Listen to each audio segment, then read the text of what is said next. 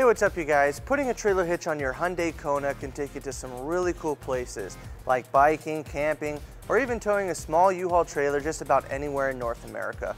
Let's go ahead and break down that install. You'll need the tools seen here to complete this installation. We're gonna start by prepping the underbody of our vehicle for our hitch. Now on our driver's side, underneath our bumper beam, we have this wiring harness that's gonna be in the way. So we're gonna relocate it to above our bumper beam so it's not sandwiched by our hitch. To disconnect it from our bumper beam, we're gonna slide it towards the outside of our vehicle. And that will allow us to make it loose. Now we're going to unattach it by pushing down on this tab. Now we're gonna bring it above our bumper beam and then we're gonna connect it on top. Now on the passenger side, we're gonna remove this underbody panel. It's held in by two push pins and one plastic nut. Now we're gonna remove those two push pins using a flathead screwdriver. And we'll remove the plastic nut using a 10 millimeter socket. And we'll remove that panel and we'll be reinstalling it later. Now on the bottom of both of the frame rails, we're gonna remove these rubber plugs So now we're ready to bring our hardware into place. We're gonna use a fish wire to bring our bolts into position. We're gonna be bringing them into these two holes on each side of the frame rail. Our provided hardware gives us two bolts for each side with a spacer. We're gonna bring it in using a fish wire through that access hole where we removed our rubber plug. Let's go ahead and show you how that's done. So we're gonna start with our rear attachment point and we're gonna take our fish wire, we're gonna push it through till it comes out of our access hole.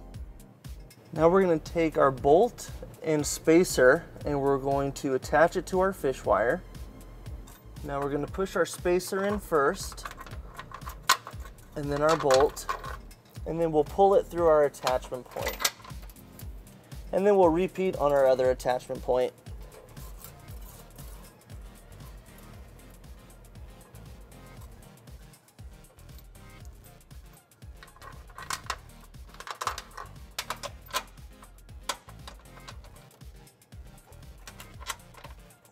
And we'll repeat on the passenger side. Now if you have an all-wheel drive Kona, it does help to lower the exhaust just a little bit to be able to bring our hitch into place. Ours isn't an all-wheel drive, so let's go get our hitch. Now we're ready to bring our hitch into place. We'll be using our U-Haul exclusive hitch jack. If you don't have a hitch jack, we do recommend that you get an extra set of hands, as this hitch can be kind of heavy. Now before we bring our hitch all the way up, we're gonna need to take our bolts and we're gonna lightly push it back into the frame with the fish wire still attached. And then we're gonna take the end of our fish wires and we're gonna run it through the attachment points on our hitch. And we'll do that on both sides.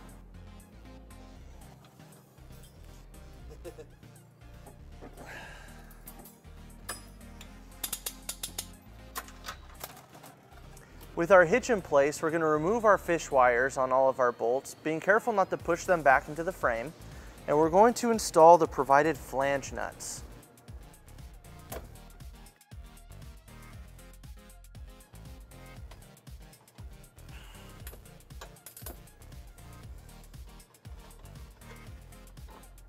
And we'll do that on both sides.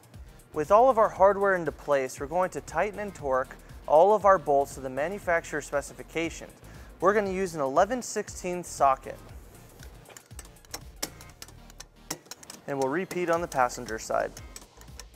Now we're going to reinstall our underbody panel on our passenger side.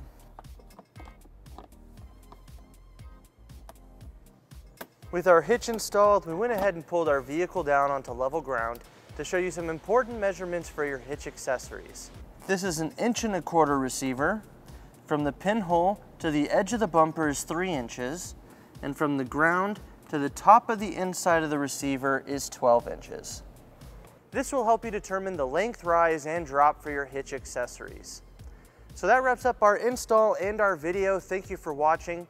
If you have any questions about this product or if you'd like to schedule an installation with a U-Haul Hitch Professional, you can visit your closest U-Haul Hitch Center or you can visit us online at uhaulhitches.com. Thank you.